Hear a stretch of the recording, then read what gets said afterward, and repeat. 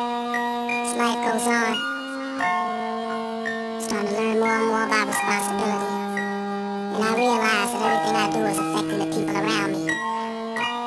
So I want to take this time out to apologize for things that I've done, the things that haven't occurred yet, the things that they don't want to take responsibility for.